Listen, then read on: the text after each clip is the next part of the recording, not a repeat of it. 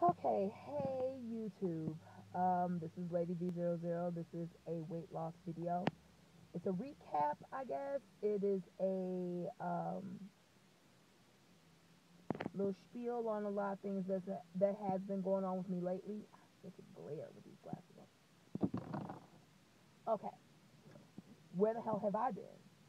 I have been enjoying my summer. I have been busy dating and falling in love and I have been busy gaining tons of fucking weight. That's the honesty of it. Um, I have not been on my game plan. I have not been to the gym in God knows how long. I have not meal prepped in how long.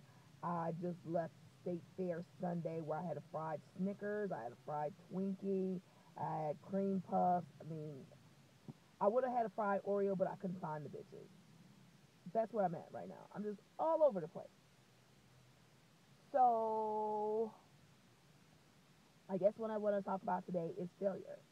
Failure is an option. It's possible to fail. Um, I was mad at myself, extremely mad at myself.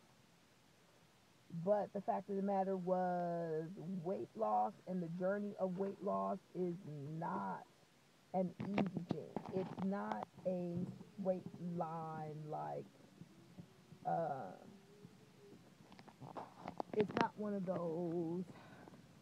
I work out, I eat healthy, I lose weight, I lose weight, I work out, I eat healthy, I lose weight, I lose weight, I lose weight, I lose weight. I'm thin.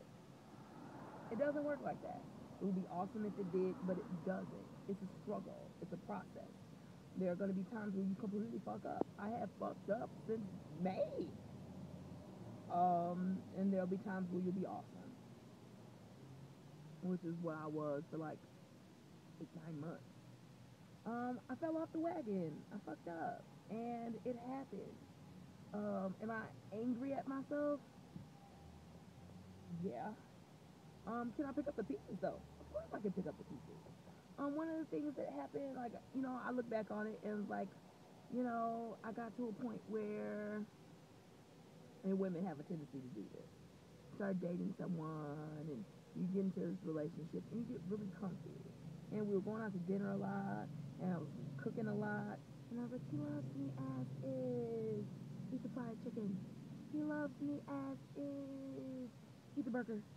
He loves me as is. Yeah, these wings are good. And I did it all the time. All the time. And of course it caught up. Um, I'll be honest, I have not necessarily designated a plan of action as of yet as to how to fix this, but I know what is required. I know I need more water. I need I know I need more fruits and veggies. I know I need to meal prep. I need, know I need to move my body more. I know I need to make healthier choices. That's what it is. Another thing was I was having major issues at my job and I was just unhappy. When you're unhappy in your situation, you in your emotional in a situation, you tend to fuck up. I was totally like, my job pissed me off. I'm just gonna eat this pizza. You know, at the end of the day, I ate the pizza and my job still pissed me off, and it didn't fix my situation. I got heavier and it was what it was, but that's what I was doing. It's not necessarily about how you screw up; it's how you fix it. And I'm working on fixing it. Um, I'm gonna try to be more regular with my videos. Um, my weight loss videos and just random what's going on with me videos. I got I have fun making videos and it just kind of kept me calm and in a decent spot with my weight loss efforts. And that was another thing. When I stopped making videos, I stopped holding myself accountable.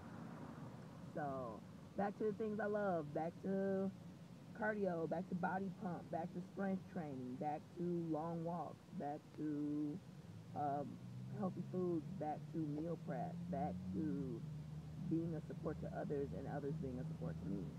So, um, time to pick up the pieces. That's what I'm working on. Love you guys. Have a good day. Bye.